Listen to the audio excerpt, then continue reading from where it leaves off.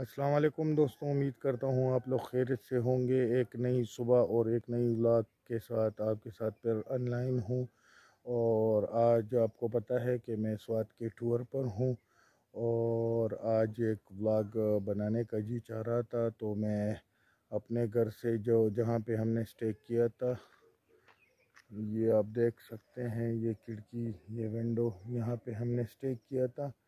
तो मैं निकल आया और ये ख़ूबसूरत नज़ारे आपके साथ शेयर कर रहा हूँ और अभी तक तो बारिशें हो रही हैं। यहाँ पे स्वात में आज ईद का चौथा दिन है।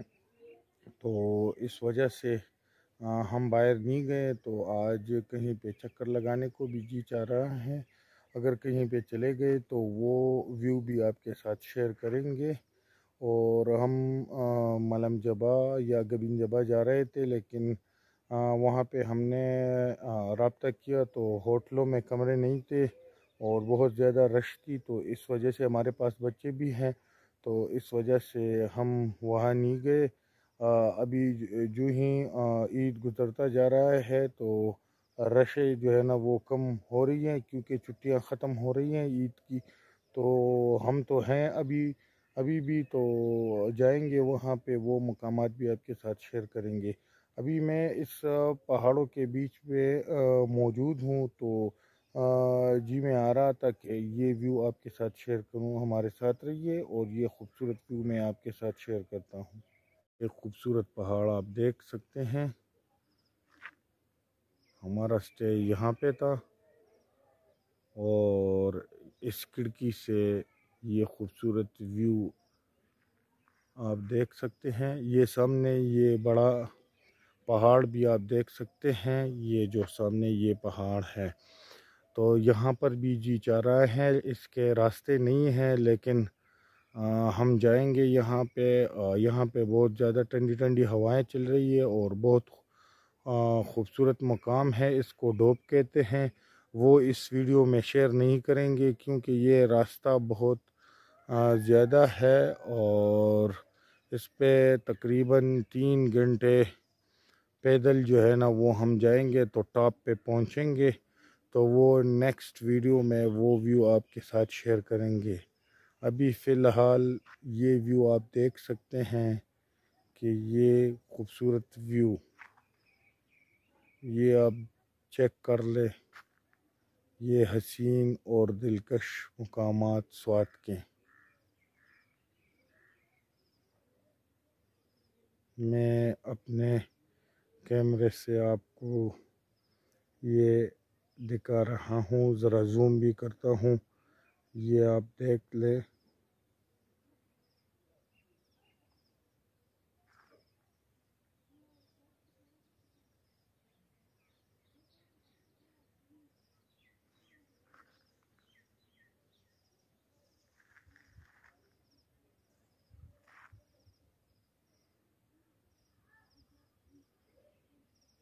सामने ये पहाड़, ये फोगी वेदर आप देख सकते हैं, लेकिन ये बहुत ज़्यादा दूर है और पैदल हम नहीं जा सकते क्योंकि पैदल जाने में कई घंटे लगेंगे और आपको पता है मैं जिस मुकाम पे खड़ा हूँ, ये भी एक जंगल है। ये आप ये दरख्त, ये पौधे वगैरह देख सकते हैं। कोई नज़र नहीं आ रहा और वहाँ पर है तो जंगल तो जंगली जानवर भी है तो कोई नुकसान ना मिले।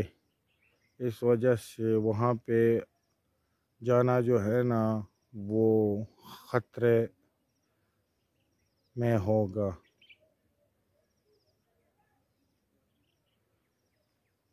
हम इस पहाड़ जाएँगे, डोप, वो आपके साथ शेयर करेंगे। अभी तो हम हैं, यहाँ पे स्टे हैं।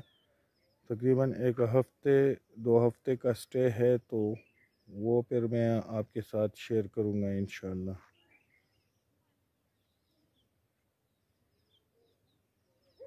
दोस्तों, ये थी एक खूबसूरत और शॉर्ट सी क्लिप जो कि स्वात के पहाड़ों के बीच में, जहाँ पे हमने स्टे किया था, वहाँ से मैं आपके साथ ऑनलाइन हुआ और वो बनाया। मैं पर उम्मीद हूँ कि मेरी आज की ये व्लॉग आपको पसंद आई होगी और साथ में मैंने ये भी कहा कि हमारी यहाँ पे आ, स्टे है अभी तो हम जहाँ जहाँ भी जाएँगे साथ में आपके साथ वो मकाम शेयर करते जाएँगे।